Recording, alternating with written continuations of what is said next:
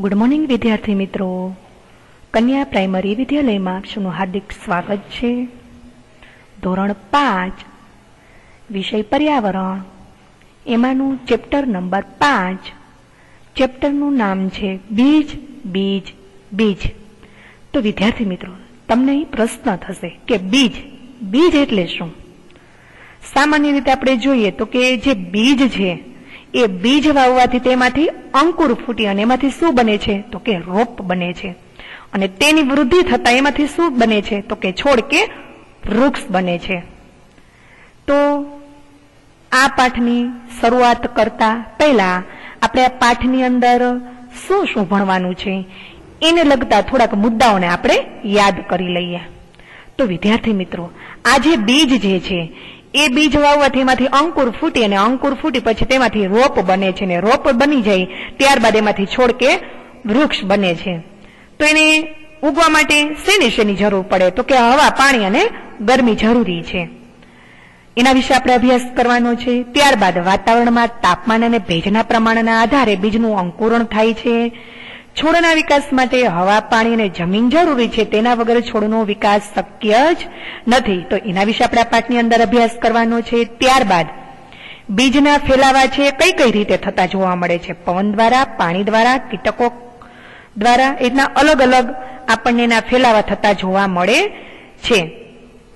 તો એના વિશે આપણે આ અંદર અભ્યાસ કરવાનો છે. ત્યારબાદ, બીજના કેટલા પ્રકાર છે? કયા કયા પ્રકાર છે? એના વિશે આપણે આ પાઠની અંદર અભ્યાસ કરવાનો છે. ત્યારબાદ બીજ વાવતા પહેલા ખેડૂત ખેતર ખેડે છે. ખેતર ખેડવાથી જમીન ઉપર નીચે થાય છે. માટીના ઢેફા ભાંગે છે. ત્યારબાદ માટીના કણો વચ્ચે જે જગ્યા વધતા તે પોચી બને છે. આવી રીતના આપણે જમીનમાં બીજ વાવતા તે સહેલાઈથી ઉગે છે. કઈ રીતના ઉગે છે તો એના વિશે આપણે આ પાઠની અંદર અભ્યાસ કરવાનો છે. ત્યારબાદ આપણા દેશમાં મરચા ક્યાંથી આવ્યા? મરચા પોર્ટુગલ દેશના વેપારીઓ દક્ષિણ અમેરિકાથી ભારતમાં લાવ્યા હતા. તો આજે ભારતમાં બધી જ જગ્યાએ મરચા ઉગાડવામાં આવે છે. આ જ રીતના ભીંડા આફ્રિકાથી, કોફી યુરોપથી, ચા એટલે કે ભારતથી આવી છે. સોયા, સોયાબીન ચીનથી અમેરિકાથી પહોંચ્યું. રીંગણ, મૂળા, વાલોર, કારેલા, કેરી, સંતરા, બોર, કેળા, પાલક, પરવર, ધાણા, મેથી એ આપણી ભારતની દેશી પેદાશો છે. તો આપણે જે બધા મુદ્દા જોયા બરાબર વિદ્યાર્થી મિત્રો? તો એના વિશે આપણે આ પાઠની અંદર અભ્યાસ કરવાનો છે. હવે આપણે જોઈએ તો કે પાઠની સમજૂતી તરફ આપણે જઈએ. ગોપાલ તેના માસીના પરિવારની આતુરતાથી રાહ જોતો હતો. તેઓ આવતીકાલે વેકેશન ગાળવા ગોપાલના ઘરે આવવાના હતા. અવનવી વાનગીઓ બનાવીશું અને બધા ખૂબ રમીશું. એ વિચારીને ગોપાલ ખૂબ જ ખુશ હતો. એટલામાં તેની માતાએ બૂમ પાડી, ગોપાલ, રાત્રે સુતા પહેલા બે વાટકી ચણા પાણીમાં પલાળી દેજે. હું ફોઈના ઘરે જવાની છું અને સવારે આવીશ.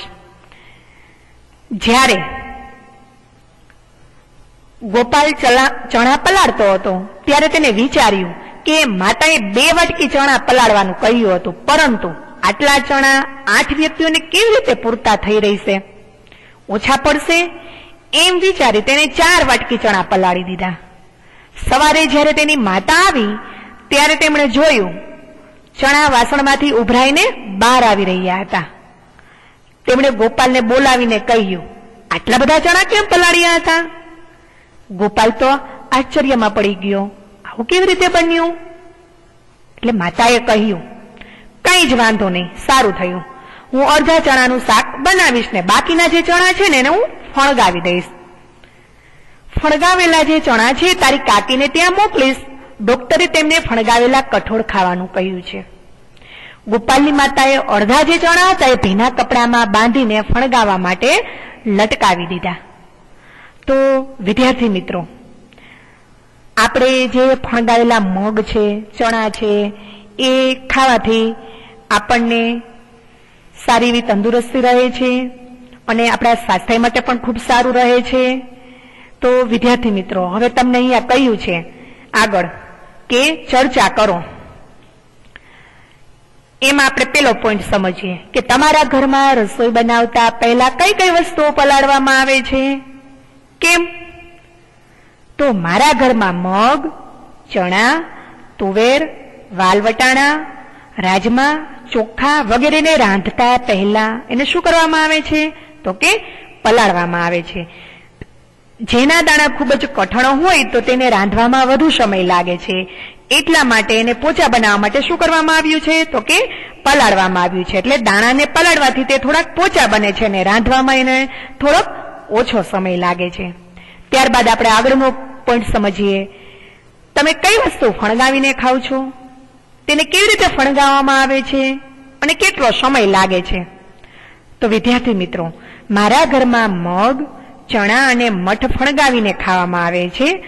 તેમને પાણીમાં આખી રાત પલાળવામાં આવે છે. સવારે તેને પાણીમાંથી બહાર કાઢી અને તેને ભીના કપડામાં બાંધી દેવામાં આવે છે. ચણાને ફણગાવતા બે દિવસ લાગે છે. જ્યારે મગ અને મઠને ફણગાવતા તેથી ઓછો સમય લાગે છે.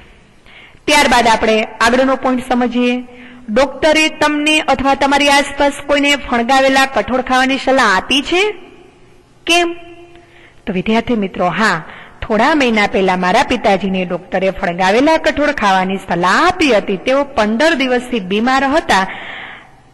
તેમને અશક્તિ આવી ગઈ હતી. એટલે ડોક્ટરે તેને ફણગાવેલા કઠોળ ખાવાનું કહ્યું હતું. હવે જે ફણગાવેલા જે કઠોળ છે આપણા માટે પૌષ્ટિક હોય છે. તે આપણા શરીરમાં નવા કોષો ઉત્પન્ન કરવા, વૃદ્ધિ કરવા અને શરીરની રોગ પ્રતિકારક શક્તિ વધારવામાં આપણને ખૂબ જ ઉપયોગી બને છે. હવે આપણે આગળ જોઈએ. શું તમને યાદ છે? ધોરણ ચારમાં તમે બીજની પ્રવૃત્તિ કરી હતી. હવે બીજની બીજી પ્રવૃત્તિ કરો, તમને કહ્યું છે. તો જોઈએ, તો કે બીજને ઉગવા માટે યોગ્ય પ્રમાણમાં શું જરૂરી હોય છે? વિદ્યાર્થી મિત્રો, આપણે આગળ જોયું ગઈએ તમને કે બીજને ઉગવા માટે હવા, પાણી અને તેની જરૂર છે. તો થોડા ચણા અને ત્રણ વાટકી લો. પહેલી વાટકીમાં ચાર પાંચ ચણા નાખી. વાટકી પાણીથી ભરી દો. બીજી વાટકીમાં ચાર પાંચ ચણા ભીના કપડા અથવા રૂમાં વીટીને મૂકો. કપડું કે રૂ સુકાવવું જોઈએ નહીં, એનું ખાસ તમારે ધ્યાન રાખવાનું કહ્યું છે. ત્રીજી વાટકીમાં ચાર પાંચ ચણા મૂકો. તેમાં બીજું કંઈ મૂકવાનું નથી અને ત્રણેય વાટકીને શું કરવા શું કરવાનું કહ્યું છે તો કે ઢાંકી દો. બે દિવસ પછી ત્રણેય વાટકીમાંના ચણાનું તમને અવલોકન કરવાનું કહ્યું છે અને ચણામાં થયેલા ફેરફારો નોંધવાનું તમને કહ્યું છે. તો વિદ્યાર્થી મિત્રો અહીં તમને એક નીચે કોષ્ટક આપવામાં આવ્યું છે અને તમને કહ્યું છે કે બે દિવસ પછી ત્રણેય વાટકીમાંના ચણાનું અવલોકન કરો અને ચણામાં થયેલા ફેરફારો નોંધો. તો વિદ્યાર્થી મિત્રો, અહીં વાટકી નંબર એક, વાટકી નંબર ટુ અને વાટકી નંબર થ્રી. હવે તમને એમાં એક પેલું ઉદાહરણ આપ્યું છે. કહ્યું છે કે બીજને હવા મળે છે? તો વાટકી નંબર એક કહે છે ના. વાટકી નંબર બેમાં કહે છે હા. અને વાટકી નંબર ત્રણમાં પણ કહે છે કે હા, તો આમાં કોને હવા નથી મળી? તો કે વાટકી નંબર એકને હવા મળી નથી. અને વાટકી નંબર ટુ અને થ્રી જે છે, એ બીજને એમાં હવા મળે છે. ત્યાર પછી તમને કહ્યું છે કે બીજને પાણી મળે છે? તો વાટકી નંબર એક જે છે, એમાં પાણી મળે છે. બે માં પણ મળે છે અને ત્રણમાં મળતું નથી. તો આમાં બે વાટકીમાં પાણી મળે છે અને એક વાટકીમાં પાણી મળતું નથી. તો પેલી અને બીજી જે વાટકી છે એમાં પાણી મળે છે, જ્યારે ત્રીજા નંબરની વાટકી છે, એમાં પાણી મળતું નથી. ત્યારબાદ તમને કહ્યું છે કે બીજમાં શું ફેરફાર થયો? તો વિદ્યાર્થી મિત્રો વાટકી નંબર એક છે, એમાં બીજ એના જે છે, એ કાળા પડી ગયા. અને વાટકી નંબર બે છે, એમાં બીજ જે એના હતા, એ ફૂલીને મોટા થયા. અને વાટકી નંબર ત્રણ જે છે, એમાં તમને કોઈ પણ પ્રકારનો ફેરફાર જોવા મળતો નથી. ત્યારબાદ આગળ જોઈએ કે બીજમાં અંકુર ફૂટ્યા? તો જોઈએ આપણે કે કઈ વાટકી છે? કયા નંબરની વાટકી છે કે એમાં બીજના અંકુર ફૂટ્યા? તો વાટકી નંબર એકમાં અંકુર ફૂટ્યા નથી. વાટકી નંબર ત્રણમાં પણ અંકુર ફૂટ્યા નથી. પણ અંકુર શેમાં ફૂટ્યા? તો કે વાટકી નંબર બે માં તો વિદ્યાર્થી મિત્રો, તમને અહીંયા કહ્યું છે કે વાટકી નંબર એક, બે ને ત્રણ. એમાં કોને હવા મળે છે, કોને પાણી મળે છે, કોનામાં શું ફેરફાર થયો અને કોનામાં અંકુર ફૂટ્યા? તો વિદ્યાર્થી મિત્રો, વાટકી નંબર જે બે છે, એમાં હવા પણ મળે છે, પાણી પણ મળે છે, એના બીજમાં ફેરફાર પણ થાય છે અને તેમાં અંકુર પણ ફૂટે છે. ખબર પડી ગઈ ને વિદ્યાર્થી મિત્રો? હવે આગળ આપણે જોઈએ, તમને કહ્યું છે કે કહો અને લખો. તો ખાસ વિદ્યાર્થી મિત્રો, હું જે અહીંયા પ્રશ્ન બોલું છું, એના જવાબ ધ્યાનથી સાંભળજો. સાંભળ્યા પછી એને યાદ પણ રાખજો અને તમારે આ પ્રશ્નના જવાબ જે છે એ તમારે તમારી પાકી નોટમાં આ પ્રશ્નના જવાબ ખાસ લખવાના છે. તો સૌથી પહેલા આપણે પેલો પ્રશ્ન જોઈએ. તમને કહ્યું છે કે કઈ વાટકીમાંના બીજમાં અંકુર ફૂટ્યા છે? તમે આ વાટકી અને બીજી વાટકીઓમાં શું તફાવત જોઈ શકો છો? તો આનો જવાબ એમ છે કે વિદ્યાર્થી મિત્રો અંકુર ફક્ત બીજા નંબરની વાટકીમાં જ ફૂટ્યા છે. બાકીની બંને વાટકીના બીજના અંકુર ફૂટ્યા નથી. તેનું કારણ એ છે કે વાટકી નંબર બે માં ચણાને પાણી અને હવા બંને મળ્યા છે જ્યારે વાટકી નંબર એકના ચણાને પાણી જરૂર કરતાં વધારે પ્રમાણમાં મળ્યું. પરંતુ એમાં શું નથી મળ્યું? તો કે હવા મળી નથી. વાટકી નંબર ત્રણમાં ચણાને ફક્ત હવા જ મળી, પાણી મળ્યું નહીં. આમ, અંકુર ફૂટવા માટે શું જરૂરી છે તો કે હવા અને પાણી બંને જરૂરી પ્રમાણમાં મળવા જોઈએ. ત્યારબાદ, આગળનો પ્રશ્ન જોઈએ. ગોપાલની માતાએ પલાળેલા ચણાને ભીના કપડામાં કેમ બાંધ્યા? તો આનો જવાબ એમ છે કે ગોપાલની માતાએ પલાળેલા ચણાને ફણગાવવા માટે ભીના કપડામાં બાંધ્યા, જેથી ચણાને જરૂરી પ્રમાણમાં પાણી અને હવા જે છે એ બંને મળી શકે. એટલા માટે એને ભીના કાપડામાં બાંધવાનું કહ્યું છે. ત્યારબાદ આપણે આગળ જોઈએ. તમને કહ્યું છે કે ચિત્ર દોરો. અંકુરિત ચણાના બીજને ધ્યાનથી જુઓ અને તેનું ચિત્ર દોરો. હવે એમાં પ્રોજેક્ટ છે કે કોનો છોડ કેટલો મોટો. હવે એમાં તમને કહ્યું છે કે માટીનું કુંડું અથવા પહોળા મોઢાવાળો પ્લાસ્ટિકનો ડબ્બો લો.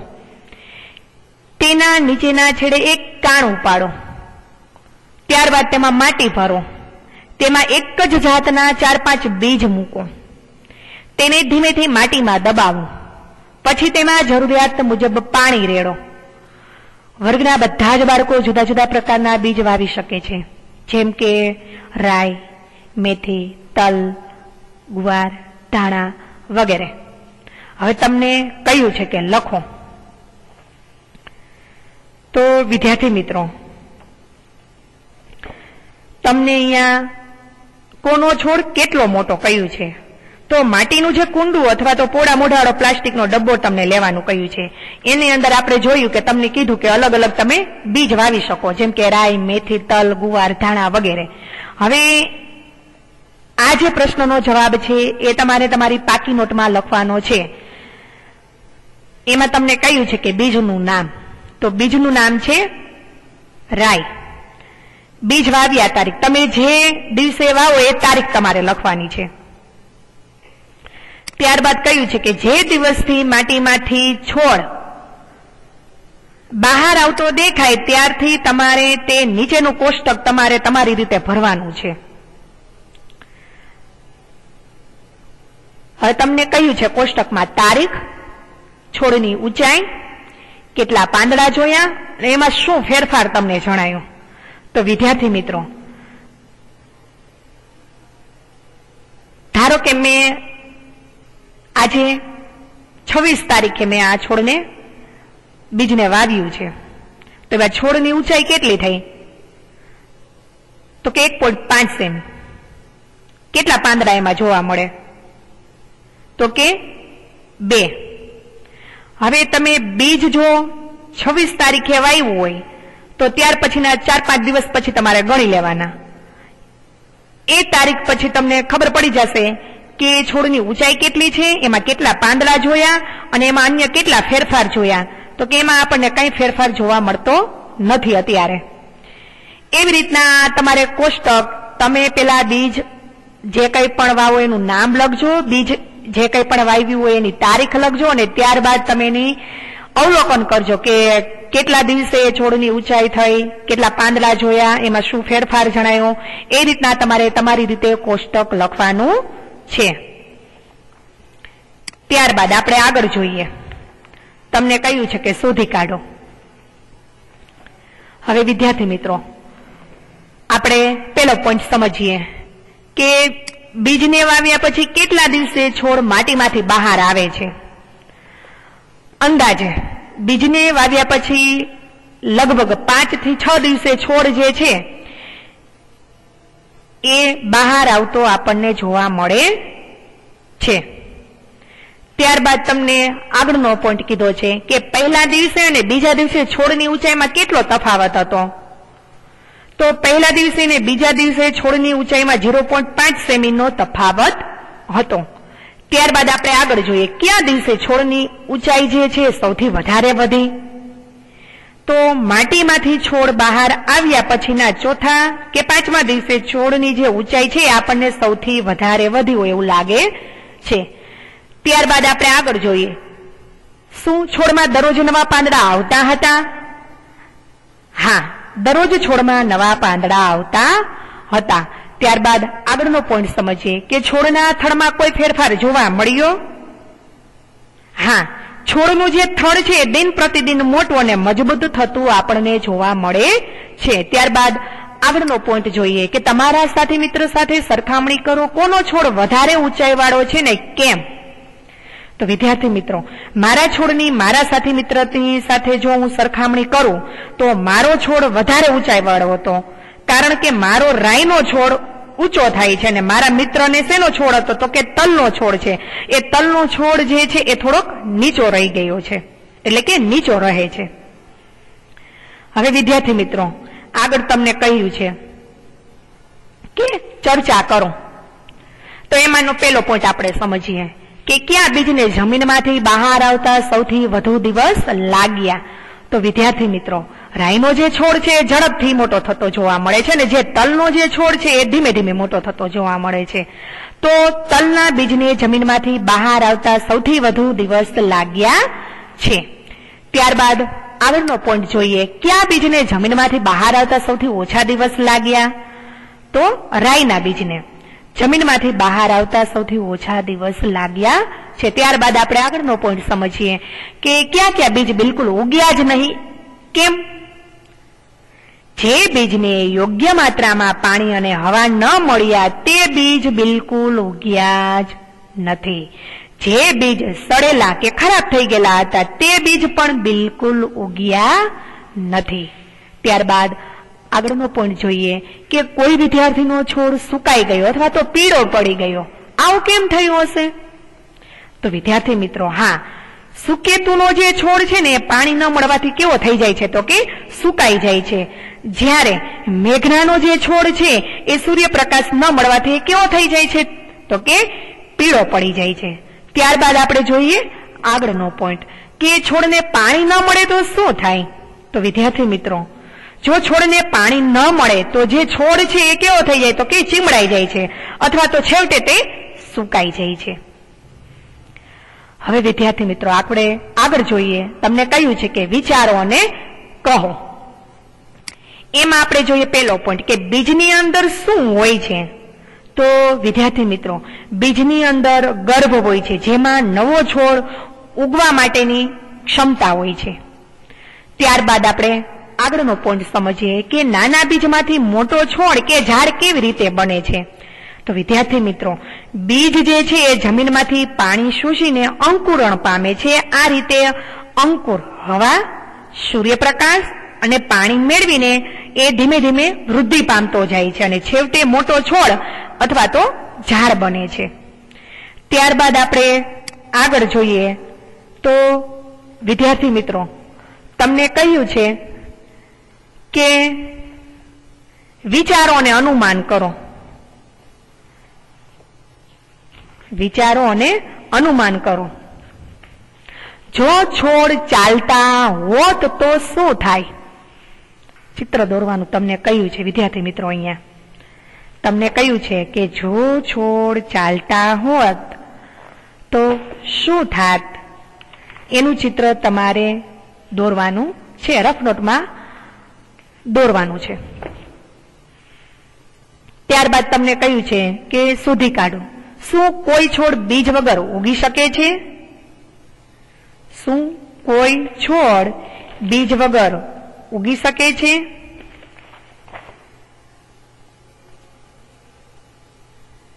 તો વિદ્યાર્થી મિત્રો,